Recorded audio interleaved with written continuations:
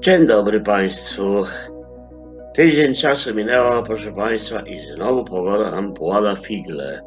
Znowu będzie huśtawka. Ale jak to będzie? Proszę spojrzeć na mapę z niedzieli.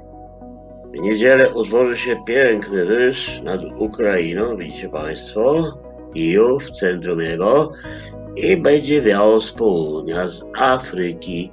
Zresztą widać po układzie Izobar, wiatr południowy, południowo-zachodni. I dlatego niedziela będzie piękna. Pierwszy dzień świąt 23 stopnie, proszę Państwa. Pogoda słoneczna. Sobota również, sobota trochę chłodniejsza, bo wczoraj przyszedł chłodny, także nie mamy już 23, mamy 15, ale wróci powietrze zwrotnikowe w niedzielę.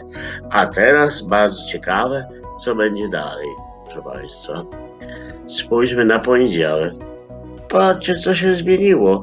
W ciągu jednej doby miejsce tego pięknego, słonecznego wyżu zajmuje głęboki niż centrum na Skandynawium. I to jeszcze jak gęsto i zabary, proszę popatrzeć.